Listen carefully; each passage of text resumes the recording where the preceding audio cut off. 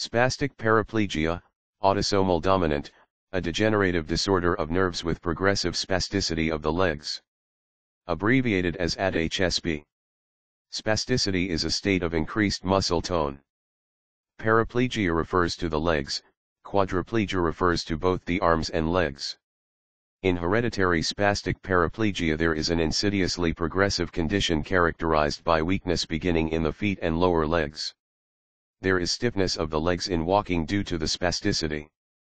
Autosomal dominant hereditary spastic paraplegia can result from changes in a number of different genes. Each gene is autosomal, on a non-sex chromosome, and dominant, capable of causing the disease by itself. Among the four genes causing ADHSP found through 1999, one that is on chromosome 2 accounts for 40 to 50% of all families with ADHSP. Researchers have identified a gene that is responsible for this most frequent form of ADHSP. They named the gene spastin, for spasticity.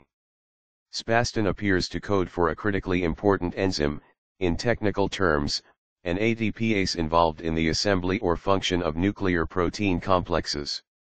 Reference, Hazan JETAL spastin, a new AAA protein, is altered in the most frequent form of autosomal dominant spastic paraplegia.